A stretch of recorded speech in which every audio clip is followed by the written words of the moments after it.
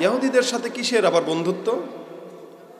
অনেকে আমাদের মুসলমানরা আছে, এর ক্লাসমেট একটা হিন্দু, ধরে নেন। এর সাথে খুব সক্ষতা আমার দোস্ত দেখছ আমার দোস্ত, কি নাম? দেবনাথ সিং।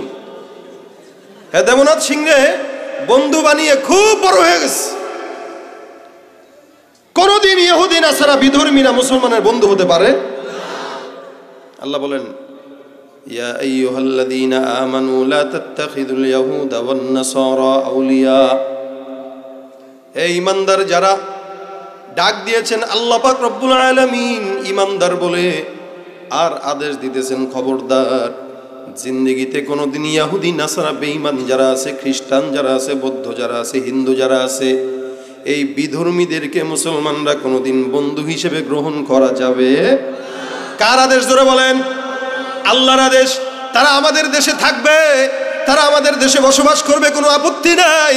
তারা আমাদের সমাজে থাকবে, আমাদের সঙ্গে মিলেমিশে তারা থাকবে। তাদের পূজায় যদি কেউ হামলা করে, ওই পূজার হামলাটা ফেরত দেওয়ার দায়িত্ব মুসলমানের। তাদের গির্জায় যদি কেউ হামলা করে, তাদের গির্জা, এই গির্জাটার হামলা ফেরানোর দায়িত্ব মুসলমানের। তাদের যেমন নাকি তাদেরকে আমরা প্রোটোকল দেব, তারা যদি আমাদের সাথে হিংস্রতার আচরণ করে ওইটা ফেরত দেওয়ার মতো কথাও আমাদের আছে। ওটা প্রতিরোধ করার মতো আদেশও আমাদের উপরে আছে। আজকে চট্টগ্রামে যেরকম আমরা শুনি, সেই স্লোগান, মুসলমানের দুই গালে জুতা দাও, হেফাজতের দুই গালে জুতা দাও, চরমনার দুই গালে জুতা দাও, তারা যদি ওই স্লোগান দিতে দ্বিধা না করে, আমরাও স্লোগান দিতে দ্বিধা করব না। নাস্তিকদের আস্তানা গড়িয়ে দাও, বেঈমানদের আস্তানা গড়িয়ে দাও, ঠিক কিনা জোরে বলে তাহলে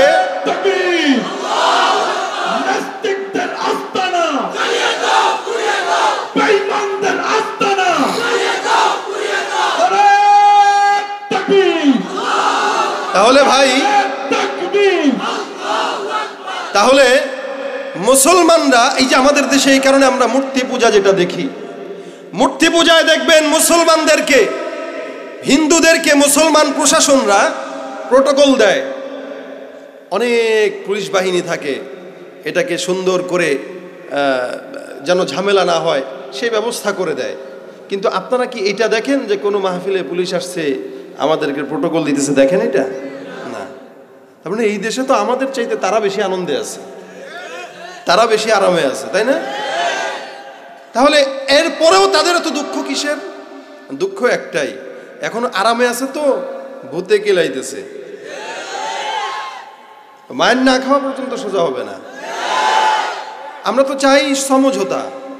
আমরা কোনোদিন কোনো হিন্দুদের বিরুদ্ধে বলি না, তাদের পূজার বিরুদ্ধে বলি না তাদের এই প্রভুর বিরুদ্ধে বলি না, ইহুদিদের প্রভুর বিরুদ্ধে বলি না, বল থাকো, তোমরা থাকবা, কোনো সমস্যা নাই। চাই এ দেশে হিন্দু, খ্রিস্টান, ইহুদি থাকুক, সবাই থাকবে, কিন্তু লা ইকরাহা ফিদ্দিন ধর্ম নিয়ে কোনো বাড়াবাড়ি করা যাবে? তোমরা তোমাদের ধর্ম পালন করবা, আমরা আমাদের ধর্ম পালন করব।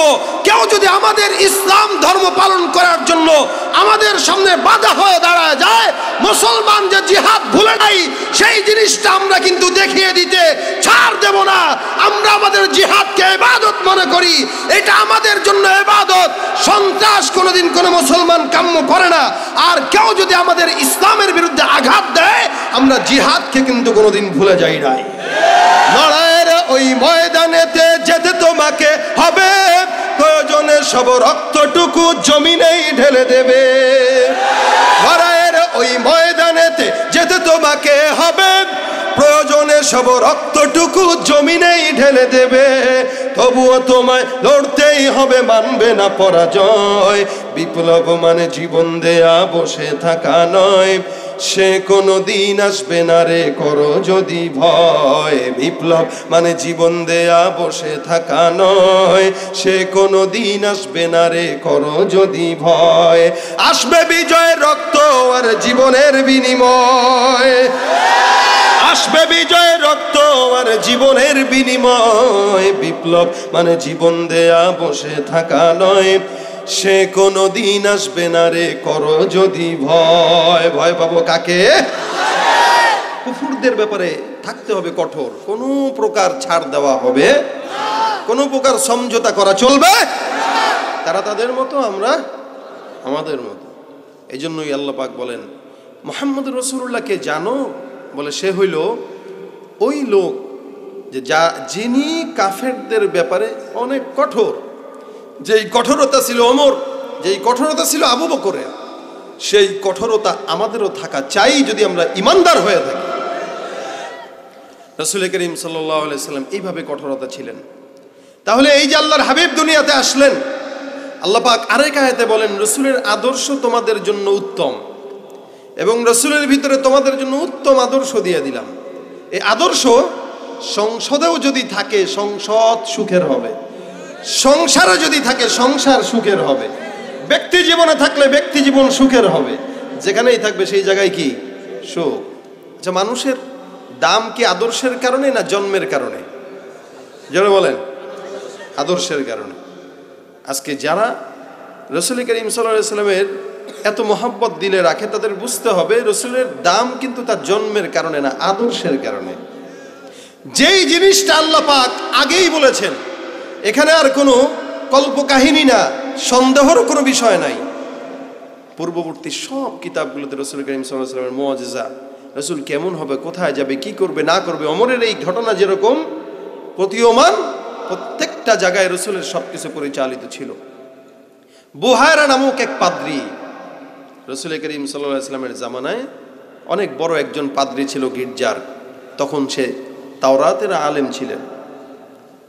রসুল করিম সাল্লাহ আলহাম আব্দুল, আবু তালেবের সঙ্গে একবার ব্যবসায় যাবে কোনো এরিয়ায়, সিরিয়ায়। আবু তালেব রসুলের চাচা, সবচেয়ে বেশি পয়গম্বর আরবি ওয়াসাল্লামকে মন থেকে, দিল থেকে মহাব্বত করতেন, ভালোবাসতেন। যদিও মহাব্বত করতেন, ভালোবাসতেন, মাগার জান্নাতি না জাহান্নামি। কেন জাহান্নামি বলে, ইমানদার না ইমান নাই? রসুল করিম ওয়াসাল্লামকে সে মহাব্বত করত। বাতিজা এই কারণে আদর ভালোবাসা, কিন্তু এটাও জানতো মোহাম্মদ সত্য নবী। এরপরেও মোহাম্মদুর রসুল্লাহ সাল্লাহ সাল্লামকে মানতেন না, জানতেন মাগার মানতেন না। আর সামিয়ানা ওয়াতনা এটা হলো মুসলমানদের গুণ। মুসলমান এটা বলবে, যা শুনলাম তা মানলাম, মাগার যেটা শুনব না সেটা মানতে পারব না। যতটুকু জানা, ততটুকু মানা হলো মুসলমানের। এটা আলামত ইমানের আলামত। আল্লাহর হাবিব সাল্লাহ আলাইসাল্লাম যখন নাকি আবু তালেবকে দেখে, সিরিয়ার উদ্দেশ্যে ব্যবসার জন্য রওনা হয়ে যাবে। এদিক দিয়া মোহাম্মদুর রসুল্লাহর বয়স তো তখন কিশোর বয়স। মাত্র এগারো থেকে বারো বছর হবে কিশোর বয়স। আল্লাহ রসুল সাল্লাহ আলী ওসাল্লাম তখনও তো নবী হন নাই। বাচ্চা মানুষের যা স্বভাব, আবু তালেবের কাছ থেকে যায় যায় কান্নাকাটি করে আর বলে, চাচা, আপনি একা একা আমাকে রেখে এখান থেকে চলে যাবেন না। আমি মক্কার জমিনে একা একা থাকতে পারব না। এ আমার চাচা আবু তালেব, আপনি আপনার সঙ্গে করে আমার নিয়ে যান। আপনার সঙ্গে ব্যবসার জন্য নিয়ে যান। এই মক্কার জমিনে একা একা থাকতে আমার ভালো লাগবে না। কারণ আবু তালেবের সঙ্গে, রসুলের সঙ্গে বড় মহাব্বত ছিল। আবু তালেব রসুলকে যেখানেই যাইতেন, সেই জায়গায় নিয়ে যেতেন। রসুল আবু তালেব যেখানে যেতে, সেখানে রসুল নিজেও যেতেন। আবু তালেব সবার সামনে ডাক দেয়া বলে, মোহাম্মদকে আমি এখান থেকে রেখে যাওয়ার মতো কোনো সুরত নাই। যেহেতু আমি এখন রওনা হয়ে যাব, আর মোহাম্মদ এই জায়গায় হাজির। এখানে এসে বারবার আমার কাছে আবদার জানাইতেছে। আমাকে যেন তাকে, সে যেন আমার সাথে যাইতে, যেতে পারে। একবার, দুইবার, তিনবার তো ফেরত দেওয়া যায় না। সুতরাং চলো ভাতিজা, কাপড় চোপড় রেডি করে নাও। আমাকে সঙ্গে তোমা, তোমাকে আমি সঙ্গে করে নিয়ে যাই ব্যবসার জন্য। সিরিয়ার উদ্দেশ্যে রওনা হয়ে গেলেন চাচা ভাতিজা একসাথে। ওই এক জায়গায় যেতে যেতে প্রতিমধ্যে একটা গির্জা। ওই গির্জার ভিতরে পাদ্রি যেই বুহায়রা পাদ্রি এই পাদ্রিটা অনেক বড় একজন পাদ্রি, এই পাদ্রিটা অনেক বড় একজন আলেম, এই পাদ্রি কিতাবের হাফেজ, এই পাদ্রির কাছে সব খবর আছে। মোহাম্মদ শেষ নবী, তার নাম কি হবে, তার বাবার নাম কি হবে, তার চাচার নাম কি হবে, এই মোহাম্মদের কোন জায়গায় কেমন হবে, কি হবে, না হবে, সব কিছু আল্লাহ পাক রব্বুল আলমিন কিতাবগুলোতে দিয়েছেন। যার কারণে বুহাইরা ভালো মতোই জানে মোহাম্মদ কোনটা। দেখতেছেন পাদ্রি গির্জা থেকে হঠাৎ করে তাকায় দেখে বিশাল বড় কাফেলা সামনে দণ্ডায়মান, বিশাল বড় কাফেলা সামনের দিকে আগায়, বুহাইরা পাদ্দি গির্জা থেকে নেমে আল্লাহ রসুল সাল্লাহ আলাইসাল্লামদের কাফেলার সামনে চলে আসলো। আবু তালেবকে ডাক দিয়া বলে, আবু তালেব আপনার আপনার এই বিশাল বড় আজকে যে কাফেলা, এই কাফেলাটাকে আমি সুন্দর করে আজকে মেহমানদারি করাইতে চাই। আবু তালেব ডাক দিয়া বলে, হঠাৎ করে মেহমানদারির কি হইল? বলে, আমার ইচ্ছা আপনার এখানে যত গোলাম আছে, দাস আছে, যত মেয়ে আছে, নারী পুরুষ আছে, সব ব্যবসায়ীদেরকে আমি একবেলা খাওয়া, খাওয়াবো। কেন? বলে, আপনাদের ভিতরে আমার একজনকে খুব ভালো লেগেছে। যার কারণে সবাইকে আমি আজকে এই তাজিমটা করব। তবে একজন মানুষও আমার থেকে এখানে না খেয়ে যেতে পারবেন না। আবু তালেবকে এখনও পর্যন্ত বোহায়রা এই কথা বলে নাই যে তোমাদের ভিতরে মোহাম্মদ যে এই লোকটা, এই বালকটা সাধারণ কোনো মানুষ না। কারণ এখানে তো অনেক ইহুদি আছে, অনেক কাফেরাও আছে। সরাসরি সবার সামনে বলে ফেললে তো মোহাম্মদের বিপদ সামনে অপেক্ষমান। এই কারণে সবাইকে বলা যাবে না। পাদ্রি যখন ডাক দিয়া সবার জন্য দুপুরের খাবার আঞ্জাম করে দিল সবাই সুন্দর করে আল্লাহ রসুল সাল্লাম ছাড়া পাদ্রির গির্জার ভিতরে যায়। পাদ্রির গির্জার ভিতরে যাওয়ার পর খাবার দাবারে বসল। এদিক দিয়া বুহাইরা সবার চেহারার দিকে চোখ ঘুরায় আর বলে, কিরে, সবাইকে তো দেখি, কিন্তু ওই বাচ্চাটা কোথায়? যেই বাচ্চার কারণে আজকে সবাইকে আমি খাবারের আঞ্জাম করে দিলাম, এই বাচ্চাকে তো আমি এই জায়গায় দেখি না। সুতরাং একবার ডাক দিয়া বলতেছে লাত অজ্জার কসম, তোমরা একবার বলো, তোমাদের ভিতরে সবাইকে এই জায়গায় খাবার খেতে বসছে কিনা? আবু তালেব চতুর্দিকে চোখ বুলায়, কই মোহাম্মদকে তো দেখা যায় না? আরে কি হুদি ডাক দিয়া বলে বুহায়রা আমাদের এই জায়গার সঙ্গে আমাদের সঙ্গে একটা বালক আসছে। ওই বালকটা গাছের গোড়ায় বসা, ওই বালকটা এখানে আসে নাই। ছোট্ট বালক মোহাম্মদ মনে হয় জায়গায় খেতে পছন্দ করতেছে না। কেন পছন্দ করে না? বলে তাকে অবশ্যই আবার সামনে ডেকে আনেন। আল্লাহর লাত অজ্জার কসম, ওই মোহাম্মদের জন্যই তো আজকে আমি আয়োজন করলাম। সবাই মোহাম্মদকে ডাক দেয়, মোহাম্মদুর রসুল্লাহ সাল্লাহ আলী সাল্লাম যদিও ছোট্ট বালক কিন্তু ইয়াহুদি নাসারারা যেমন খাওয়ান দিবে, এই খাবার মোহাম্মদ রসুল্লাহ খাবার গ্রহণ করতে তৈয়ার না। যদিও দশ বারো বছরের বালক সুন্দর করে সামনে যায় দাঁড়ায় গেছে, ডাক দিয়া বলে, কি বলবেন? বলে, তোমার সঙ্গে একটা কথা। আমি লাতজার কসম খেয়ে তোমাকে প্রশ্ন করব, তুমি জবাব দিবা। মোহাম্মদুর রসুল্লাহ সাল্লাহ আলিয়াসাল্লাম বলেন, এ আমার চাচা জানেরা আমাদের, আমার দোহায় লাগে, আল্লাহর দোহায় লাগে। মেহরবানি করে আপনারা লাতুজ্জার কসম কোনোদিন আমাকে দিবেন না। এই লাতুজ্জা টুজ্জা আমার পছন্দ না, ভালো লাগে না, সরে বলেন সুবহানাল্লাহ। বয়স কত? মাত্র তরি সে বুঝে, এই লাতুজ্জা টুজ্জা এগুলো ভালো না। ডাক দিয়ে বলতেছে, এদের ব্যাপারে আমাকে কিচ্ছু বলবেন না। বলে, তাহলে কি বলব? আল্লাহর কসম বলব? বলে হ্যাঁ এটা ঠিক আছে। বোঝা হয়ে গেল, মোহাম্মদ যে আসলে সত্য নবী। বোহারা ডাক দেয়া বলে, মোহাম্মদ, আল্লাহর কসম, আমি তোমাকে যেই প্রশ্নগুলা করব, তুমি জবাব কি সুন্দর করে দিবা? মোহাম্মদ রসুল্লাহ ডাক দেয়া বলে, আল্লাহর কসম, যেই প্রশ্ন করবেন আমি জবাব দিব। তবে আমি ছোট মানুষ, আমাকে এমন কোন প্রশ্ন করবেন? আবু তালেব ডাক দিয়া বলে বোহায়রা তোমার মতো একজন পাদ্রী যদি মোহাম্মদরে প্রশ্ন করো, তাহলে কেমন দেখায়? মোহাম্মদের সঙ্গে তোমার এমন কি কাজ? তুমি আমাকে একটু বলো। বোহায়রা আবু তালেবকে একটু সাইডে নিয়ে মোহাম্মদ সহ চলে গেল। ডাক দিয়া বলতেছে, মোহাম্মদ, তুমি ঘুমাও কীভাবে? বলে, আমি এভাবে ঘুমাই, ডান কাত হয়ে ঘুমাই। সব সময় কি এইভাবে ঘুমাও? বলে হ্যাঁ সব সময় আমার ঘুমটা ডান কাত হয়ে হয়। বোহায়রা বলে, মিলে গেছে। আবু তালেব বলে, কি মিলছে? বলে, কিতাবের সঙ্গে মোহাম্মদের ঘুমের আলামত মিলে গেছে। আবার ডাক দেয়া বলে, আল্লাহর কসম করে বলো তোমার কি বক্ষ বিদীর্ণ হয়েছে কিনা? মোহাম্মদ ডাক দিয়ে বলে হ্যাঁ দুই বছর বয়স বা আড়াই বছর যখন এমন একজন মানুষ আমার কাছে আসলো, আমার বুক চিরলো, আমাকে কি যেন বের করে আবার ঢুকায় দিল। বহেরা ডাক দিয়ে বলে, আল্লাহর কসম, এই কথাটাও মোহাম্মদের সঙ্গে, কিতাবের সঙ্গে মিলে গেছে। মোহাম্মদ রসুল্লাহকে তিন নম্বর প্রশ্ন করে ডাক দিয়া বলে, মোহাম্মদ, তোমার ঘাড়ের কাপড়টা একটু উঠাও, আমি দেখতে চাই। তোমার ঘাড়ের ভিতরে কোনো সিল আছে কিনা যেটা মোহরে নবুয়তের সিল? শেষ জামানার পয়গম্বর মোহাম্মদুর রসুল্লাহ সাল্লাহ আলী আসাল্লামের এই জায়গাটায় ঘাড় বরাবর মাঝখানে মানুষ শিঙা লাগাইলে যেই দাগটা হয়ে যায় গোল বৃত্তের আল্লাহ রসুল সাল্লাহ আলী ওসাল্লামের ঘাড়ের ঠিক বরাবর মাঝখানে এই মহরের নবতের সিল্ক ওই জায়গায় বসা ছিল। বোহায়রা যখন গেঞ্জিটা উঠায়, কাপড়টা উঠায় ঘাড়ের দিকে তাকায় দেখে, আরে এই তো সেই চিহ্ন যেটা মোহাম্মদের ঘাড়ে থাকার কথা। আবু তালেব কে এবার ইশারা করে ডাক দিয়া বলতেছে, তোমার তো সাহস কম না, তুমি কি কোনো খবর রাখো না? আবু তালেব, তোমার মতো বিচক্ষণ ব্যবসায়ী মানুষ এমন একজন বাতিজাকে তুমি রাস্তায় নিয়ে ঘুরো। না না, এটা কোনো দিন শোভা পায় না। মোহাম্মদকে সব জায়গায় নেওয়া সম্ভব না।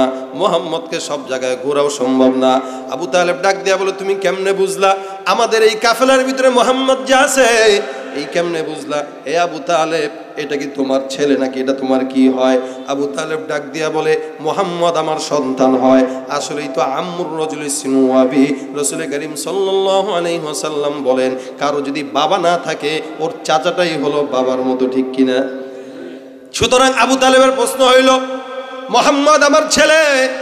এদিক দিয়া বুহাইরা প্রশ্ন করে বলে, না না, মোহাম্মদের তো বাবা থাকার কথা না। আসলেই সত্য করে বলো, তুমি মোহাম্মদের কি হও? আবু তালেব বলে, কেন? আমার সন্তান। বলে, সন্তান তো বুঝছি, বাতিজাও কিন্তু সন্তান হয়। খবরদার, আমার সঙ্গে কোনো কথা গোপন রাখা যাবে না। আবু তালেব ডাক দিয়া বলে, না না, ওই ভাতিজা আমার আপন ভাতিজা। তার তার বাবা তার জন্মে পেটে থাকা অবস্থায় মারা গেছে। সুতরাং আমি এখন তার দেখভাল করি। আবু তালেবের কথা শোনার পর বুহাইরা ডাক দিয়া বলে, আবু তালেব, এখন তোমার কথা সত্যতা হয়ে গেল। ওই কিতাবগুলোতেও আছে, মোহাম্মদুর রসুল্লাহ সাল্লাহ আলাইসাল্লাম যখন জন্মগ্রহণ করবে, মোহাম্মদ এতিম অবস্থায় দুনিয়ার জিন্দগিতে আগমন করবে। আমার এই কথার সঙ্গে মোহাম্মদের এই আলামতের সঙ্গে আজকেও মিলে গেছে।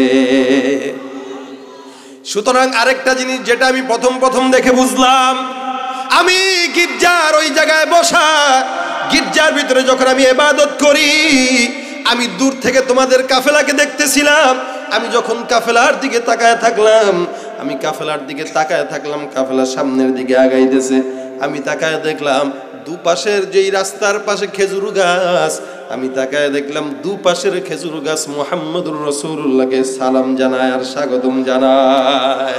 মোহাম্মদ মেদে হামদে খুদা বস খুদা মদ হে আফরি মুস্তফা বস। শুধুমাত্র আল্লাহ পাক কি স্বয়ং মোহাম্মদের প্রশংসা করে না? আল্লাহ পাক রব্বুল আলামিনের দুনিয়া, তামাম আসমান, জমিন, ওই নক্ষত্র, ওই চন্দ্র, ওই সূর্য, ওই জংলার গাছপালা পর্যন্ত মোহাম্মদুর রসুল্লাহ সাল্লাহ আলহিহাসাল্লামের প্রশংসায় মগ্ন থাকে। আবু তালেবকে বোহায়রা ডাক দিয়া বলে এ আবু তালেব, এই যে তোমরা সামনের দিকে আগে আসতেছ, আমি তাকায় দেখলাম দুপাশের খেজুর গাছগুলো সারি সারিভাবে সালাম জানায়। শুধু তাই নয়, আমি যখন আসমানের দিকে তাকাইলাম, আমি আসমানের দিকে তাকায় দেখি আসমানের একটা মেঘের টুকরা সবাইকে মাথার ভিতরে সূর্য রোদের তাপড়ে দেয়, মাগার একমাত্র মোহাম্মদ ছাড়া কারও মাথার উপরে কোনো ছায়া নাই। ওই মেঘের টুকরাটা মোহাম্মদ যেখানে যায়, মোহাম্মদের সাথে সাথে যায়। ভাইরা আমার এর পরে বুহাইরা ডাক দিয়া বলে, আবু তাহলে খবরদার খবরদার, এই ভাতিজাকে সব জায়গায় নিও না। কারণ ভাতিজার এই আলামতগুলো আমার মতো অন্যান্য আলেমগুলো জানে।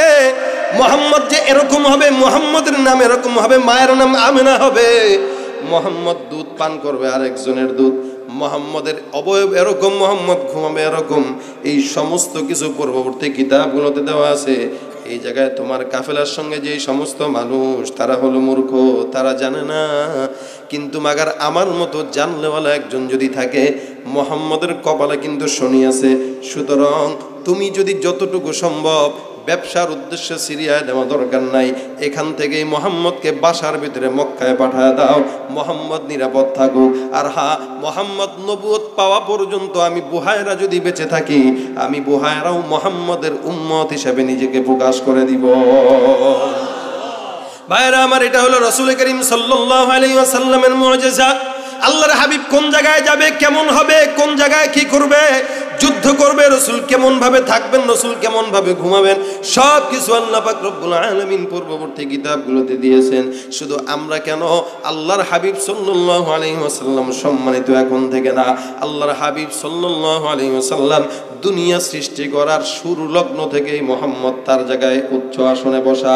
এই কারণে আল্লাহ পাক রব্বুল আলামিন বলেন ও ইন্নাকা লাআলা খুলুকিন আযীম। দুনিয়ার জমিনে আমি একমাত্র আপনাকে উত্তম আখলাক আর সম্মানের অধিকারী বানাইলাম। ভাইরা আমার, এই কারণে মোহাম্মদুর রসুল্লাহকে মানা এটা আমাদের জন্য কর্তব্য। আল্লাহ রসুল যেমন ছিলেন, যা করতেন রসুলের আখলাক। এই জন্য রসুল করিম আলহিহাসাল্লাম বলেন, শেষ জামানায় কেউ যদি আমার সুন্নতের উপরে অটল থাকে, ওই ব্যক্তিটাকে আল্লাপাক সমস্ত ওই ব্যক্তিটা যে ব্যক্তিটা আমার সুন্নত মানবে, আল্লাহ পাক সুন্নত মানার কারণে একশত শহীদের সওয়াব দান করবে কেউ কেউ বলেন, একটা সুন্নত। মানে না, একটা সুন্নত না।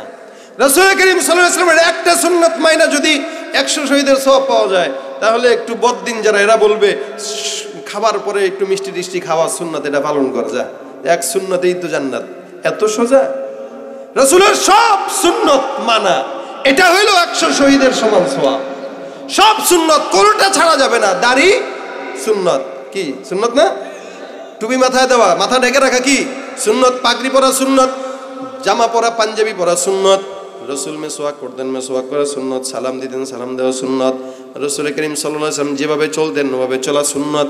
প্রত্যেকটা সুন্নতের উপরে কোনো বান্দা যদি একদম পুঙ্খানুপুঙ্খানুভাবে আমল করে। আল্লাহর হাবিব বলেন, আল্লাহ পাক তারে একশত শহীদের সওয়াব দান করবেন।